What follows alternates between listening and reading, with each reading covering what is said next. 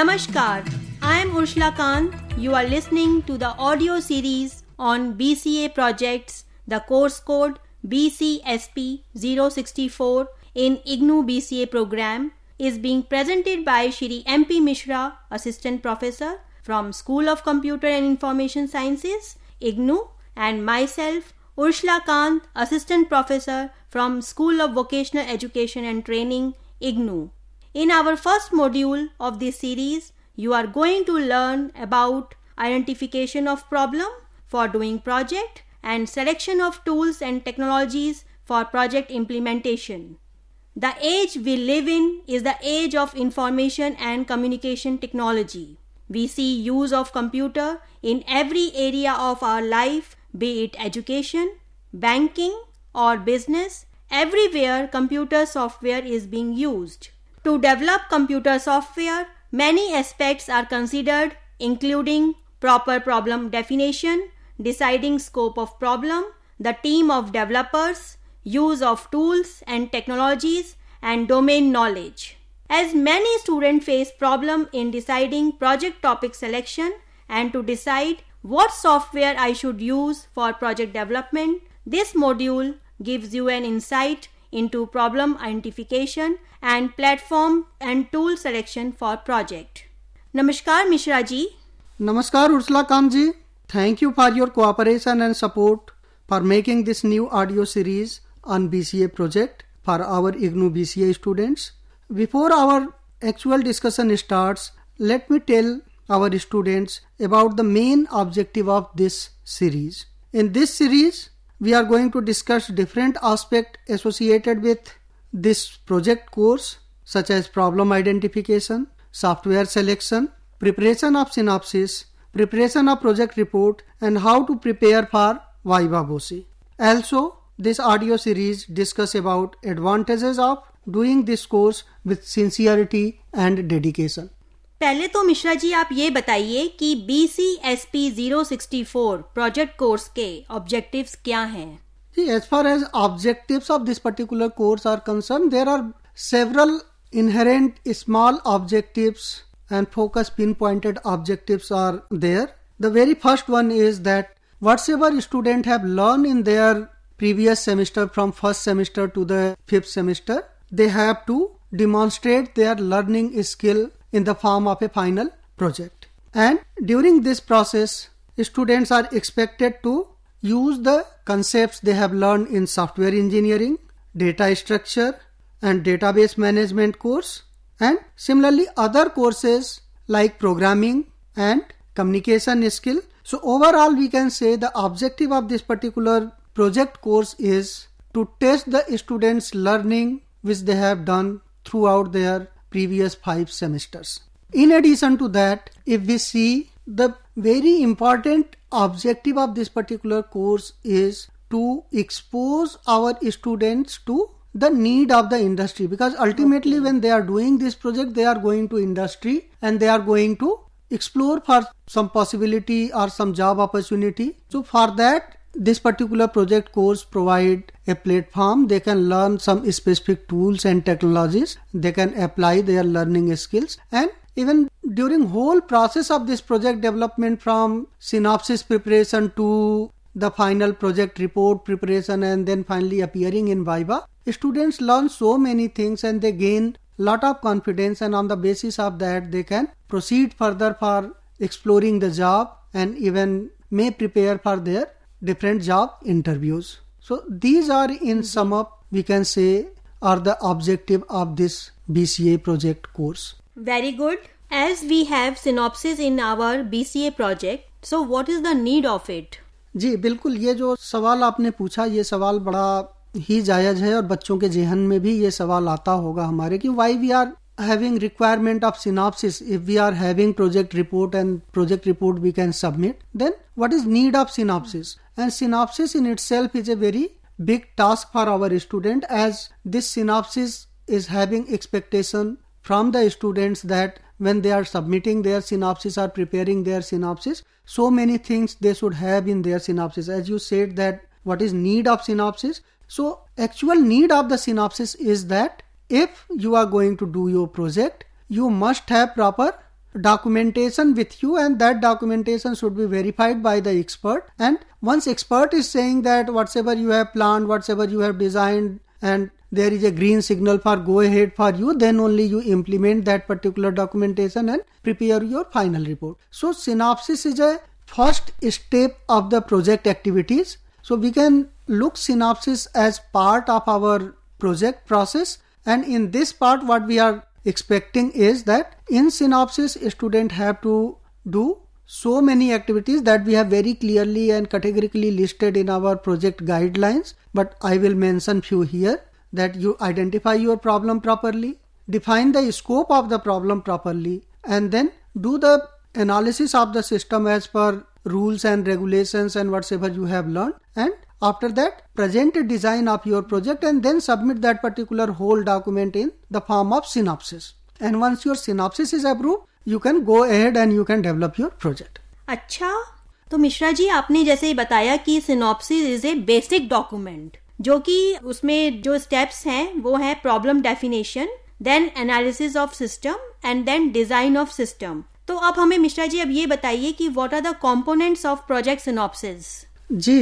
जैसा आपने अभी मेंशन किया कि जो सिनॉप्सिस है हमारा, उसमें प्रॉब्लम की डिफिनीशन है, फिर एनालिसिस है और उसके बाद डिज़ाइन है। तो इन चीज़ों से अगर हम थोड़ा सा अपने आप को एक प्रोजेक्ट के साथ जोड़ के देखने की कोशिश करें तो जो सिनाप्सिस है हमारा एक ब्लू है पूरे प्रोजेक्ट का।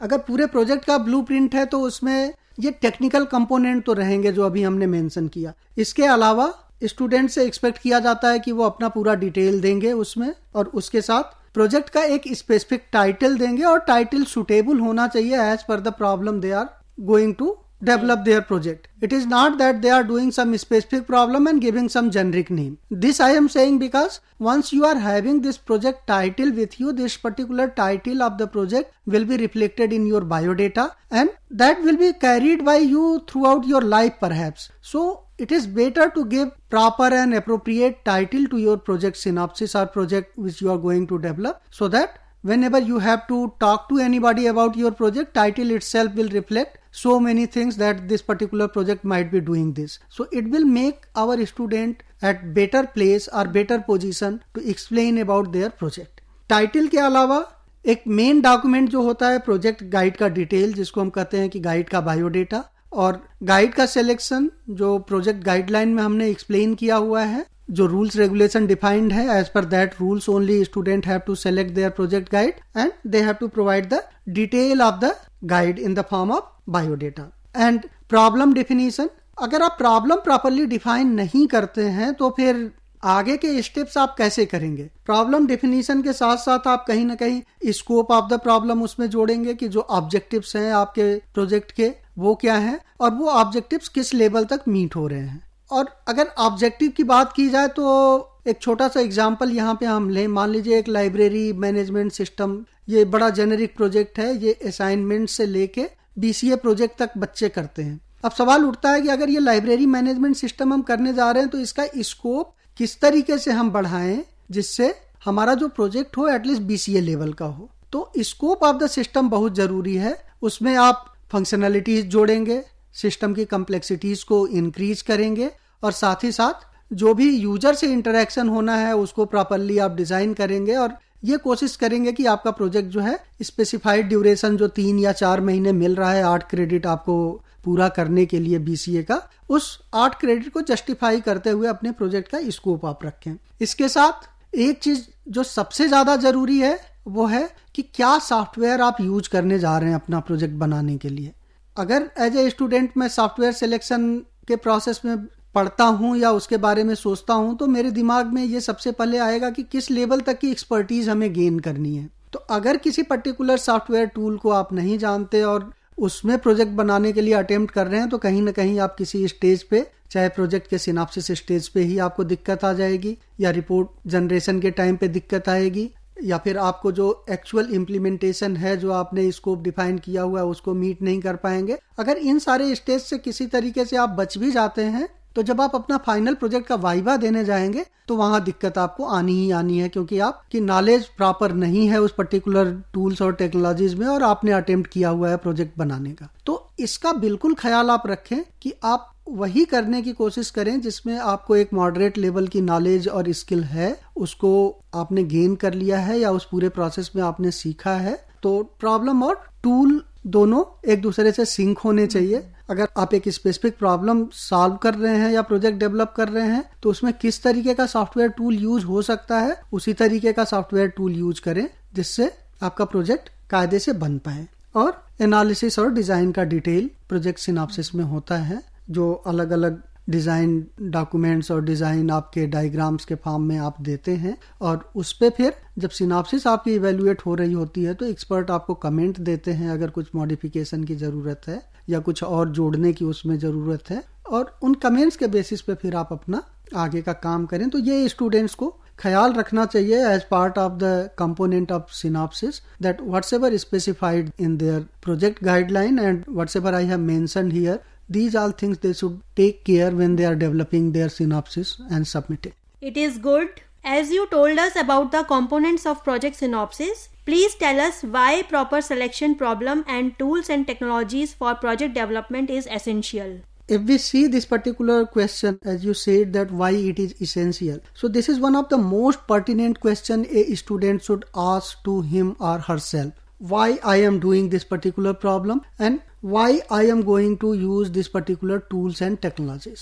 अब इसमें दो चीज़ें आती हैं। एक तो स्टूडेंट ये कहे कि मेरे पास कोई ऑप्शन नहीं है। मैं यही सोच सका, इसलिए हमने ये प्रोजेक्ट करने की कोशिश की। हमें सिर्फ़ एक स्पेसिफिक लैंग्वेज ही आती है या फिर हमारी जो स्किल है वो लिमिटेड है, इसलिए हमने उस स्किल को यूज़ किया या उस पर्टिकुलर प्रोग्रामिंग प्लेटफॉर्म को यूज़ करके प्रोजेक्ट डेवलप किया। और दूसरा है कि स्टूडेंट कितना एस्पायर कर रहा है अपने आप को ग्रो करने के लिए और स्टूडेंट के फ्यूचर एस्पेक्ट्स किस तरीके से इस पूरे प्रोजेक्ट से जुड़े हुए हैं। क्योंकि जब स्टूडेंट प्रोजेक्ट कर रहा है तो जैसा मैंने कहा कि उसका कहीं ना कहीं उसके दिमाग में एक सोच ये होनी चाहिए कि इस प्रोजेक्ट के बेसिस पे हमें कहीं जॉब मार्केट में एंट्री मिल सकती है। हमारी सेलिंग पॉइंट बढ़ सकती है अगर हम थोड़ा सा और आगे बढ़ के इसको कहना चाहें तो। तो स्टूडेंट अपने आप को मोर सेलेबल कैसे बना पा रहा है? मोर सेलेबल बनाने के लिए एक तो ये है कि आपने जो अपने सारे स्किल्स अभी तक सीखे हैं, पूरे बीसीए प्रोग्राम में उन पे आप इंटैक्ट रहें, उनको रिवाइज करके, उनको आप पूरी तरीके से समझ के और अपने आप को तैयार रखें कि जो जो स्किल्स हैं, उनको किस किस लेवल पे कहाँ कहाँ अपने प्रोजेक्ट में हम यूज़ करेंगे। और दूसरा है कि इंडस्ट्री की जो डिमांड है, और आपने जो अभी तक पढ़ा हुआ है अपने बीसीए प्रोग्राम में अलग अलग प्रोग्रामिंग लैंग्वेजेस हो गई, डेटाबेस हो गया, या कुछ और थियरी कोर्सेज हो गए तो उन सारे कंसेप्ट को यूज़ करके किसी एक स्पेसिफिक प्रॉब्लम को कैसे सॉल्व कर सकते हैं? यहाँ पे एक सवाल और आता है कि जो प्रॉब्लम सिलेक्शन है, ये प्रॉब्लम सिलेक्शन तो कोई एक ट्रेडिशनल प्रॉब्लम भी हो सकती है जो बी सी एम सी ए या फिर कुछ इस तरह के जो लेवल पे प्रोजेक्ट होते हैं, उन प्रोजेक्ट्स को बहुत सारे बच्चे कर रहे हैं। प्रॉब्लम्स वही होती हैं। जैसे अभी हमने एक छोटा सा एग्ज़ाम्पल दिया था लाइब्रेरी मैनेजमेंट सिस्टम का। तो जैसे ही हम इस प्रोजेक्ट के बारे में सोचते हैं तो हमारे दिमाग में आता है कि कुछ छोटी छोटी चीज़ें हैं। लाइब्रेरी में किताब हम लेते हैं, किताबें लाइब्रेरी में जमा कर देते हैं, बस यहीं तक हमने सोचा। लेकिन जब आप उस स्पेसिफिक प्रॉब्लम को और एक्सटेंड करके सोचने की कोशिश करोगे, उसमें कम्प्लेक्सिटीज और जोड़ोगे कि अगर लाइब्रेरी है तो उसमें ऑनलाइन फैसिलिटी किस तरीके से है, उसमें तरह तरह के अलर्ट्स हम कैसे जनरेट कर सकते हैं। कि जो बुक्स हमारी इशू हुई हैं, अगर उसको रिटर्न नहीं आया तो हम किस तरीके से मैसेज सिस्टम जनरेट करें कि ईमेल के थ्रू यूज़र को मैसेज चला जाए या फिर एक एसएमएस हम भेज सकें। तो जैसे ही ये फैसिलिटी आप जोड़ेंगे, उसको कम्प्लेक्सिटी लेवल आपने बढ़ा दिया। इसी के साथ, अगर आप कुछ और कम्प्लेक्सिटी जोड़ना चाहते हैं तो कितने कॉन्करेंट यूज़र को एक स्पेसिफिक डॉक्यूमेंट आप दिखा पा रहे हैं? अगर ऑनलाइन डॉक्यूमेंट आपका है तो वो भी हो गया कि सिस्टम का लोड आप वहाँ जस्टिफाई कर पा रहे हैं। अगर और बहुत बड़े सिस्टम के बारे में सोच रहे हैं तो आपके वेराइटी ऑफ़ यूज़र्स आप जोड़ सकते हैं उसमें।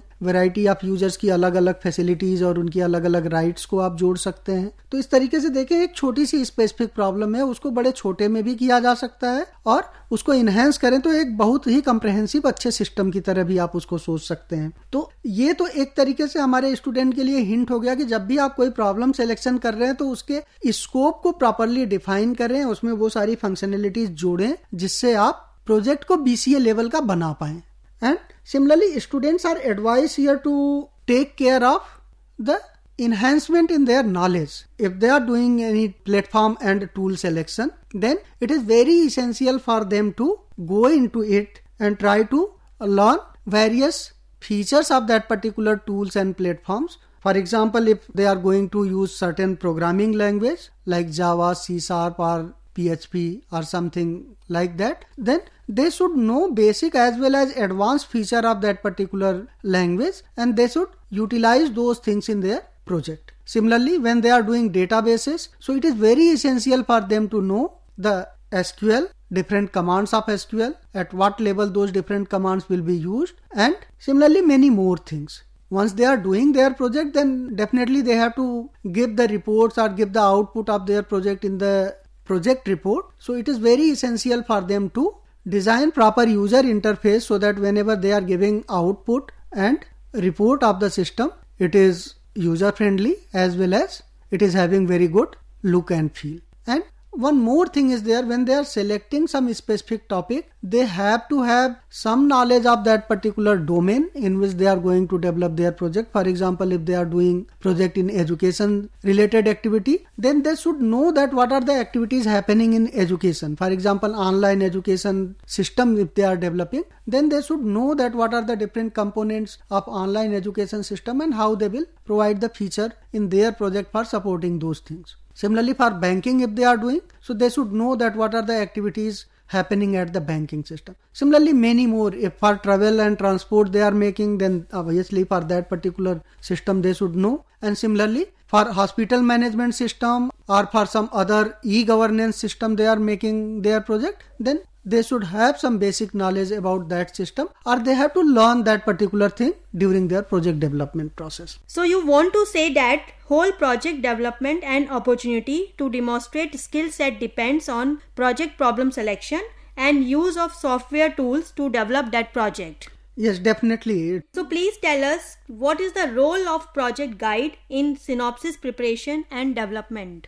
ये सवाल हमारे स्टूडेंट के जहन में होता है कि जब हमारा प्रोजेक्ट गाइड है तो वो हमें क्या करके देगा या उसका रोल क्या है ये जानना बहुत ही ज़रूरी है स्टूडेंट के लिए कि प्रोजेक्ट गाइड से वो क्या एक्सपेक्ट कर रहे हैं और प्रोजेक्ट गाइड से क्या क्या चीज़ें उनको मिल सकती हैं तो सबसे पहले तो एक चीज़ मैं क्लियर कर दूँ कि प्रोजेक्ट गाइड है, इसका मतलब है कि वो आपको गाइडेंस देगा, आपका प्रोजेक्ट करेगा नहीं, अगर बिल्कुल रॉ टर्म में हम बोले तो। तो जो प्रोजेक्ट करना है, वो स्टूडेंट को करना है।